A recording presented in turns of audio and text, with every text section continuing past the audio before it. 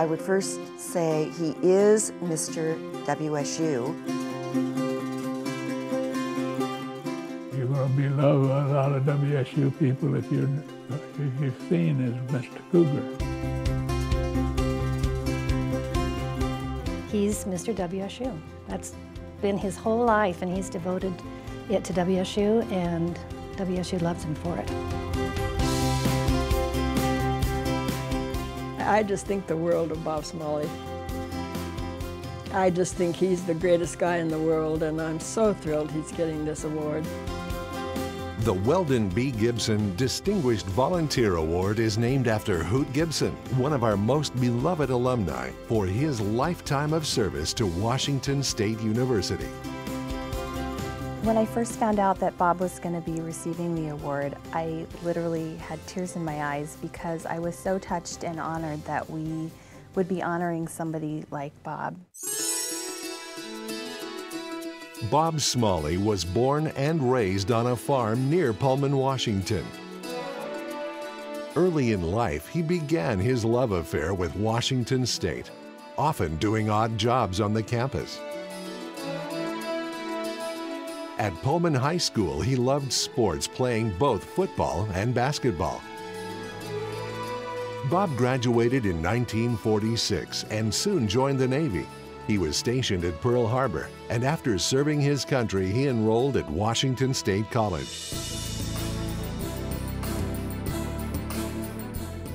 I know that Bob had played basketball at WSU on the freshman basketball team. He was, he was ac active and, and in good shape. He was also active in his fraternity. Bob was definitely a big man on campus as an undergraduate. He was a Sigma Nu and a heartthrob. In 1950, Bob married his college sweetheart, Carol Frost, and two years later he became a proud father and received a bachelor's degree in business. And then he began his lifelong career at WSU. Bob has held a multitude of positions at WSU. He first worked for Intercollegiate Athletics as the ticket manager, and he always had great stories to tell.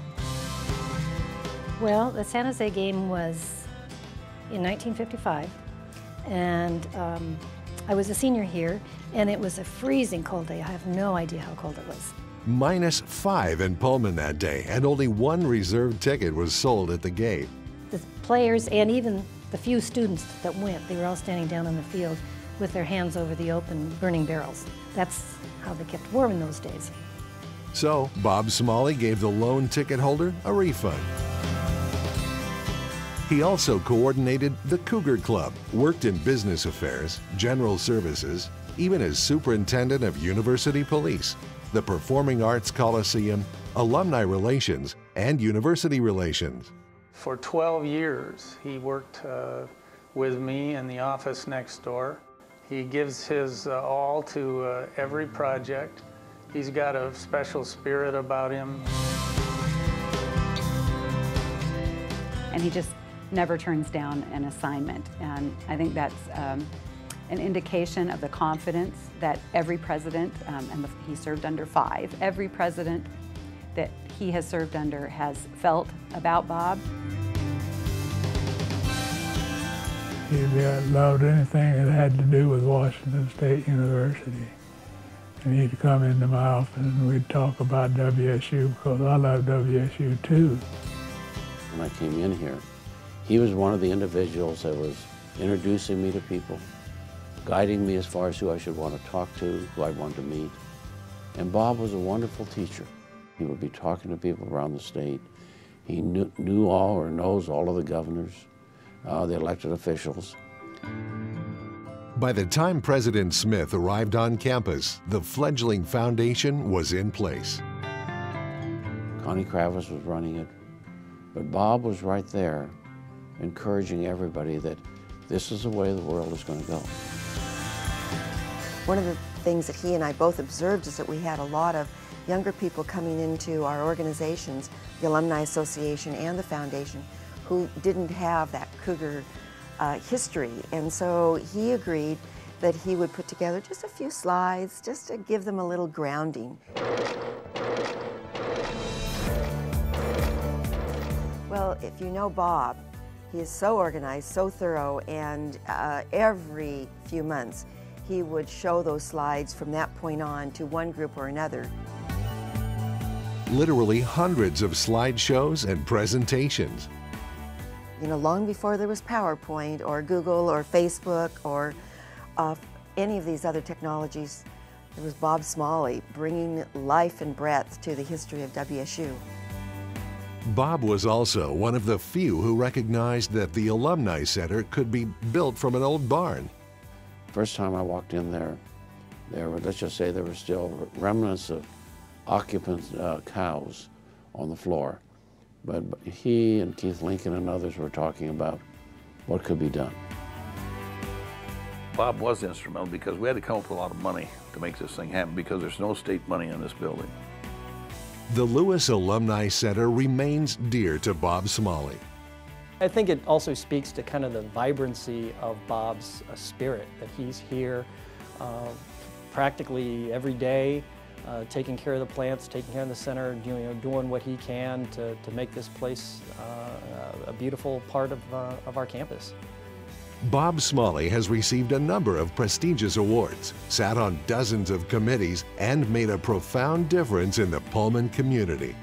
I was thinking about Bob's tenure, it has to be over 60 years. Um, and if you take the number of days, that might be 20, 22, 23,000 days, and I'll bet not a single day went by that he didn't raise a friend for the university or the foundation. Bob is the most personal, friendly, outgoing individual you can ever imagine. He knows who you are, who your spouse is, what your children's names are.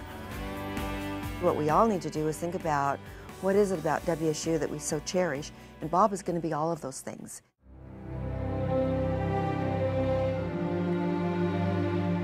He's honorable, he's incredibly devoted. He works very, very hard. He does what he says he's going to do. He'll never forget you or fail to be courteous or kind or loving. I came to Pullman as a freshman sight unseen. And while I wasn't so far away from Seattle, I still felt very homesick. And having people like Bob and Carol in my life was really comforting because it was like having a family away from home. I think Bob is uh, the perfect example of a family man. Bob and Carol's three daughters are all loyal Cougs. And with 10 grandchildren and 12 great grandkids, there are more potential Cougar grads to follow in his footsteps. And everybody would like to claim him as their, as their own, as their best friend, their best worker ever, uh, their leader. Uh, so in this case, the foundation gets the opportunity to, to recognize Bob and claim him for one of their own. Well, there's an irony here because Bob and Connie and uh, all of us were involved in the creation of this award uh, along with the foundation leadership back in the early 80s. And Bob used to be the presenter of this award for years uh, at the annual WSU dinner. So I can't think of anything more appropriate than Bob having spent all of these years from the day of its inception uh, honoring others to be honored tonight. I just wish that I could say more about Bob because he is such a great person. And um, we all love him to death. He is that person that cares so much about this institution that he wants it to be there for the people that come after us, and he truly cares about the legacy of WSU. Bob, I know right now Buck Bailey and Hoot Gibson are smiling from heaven.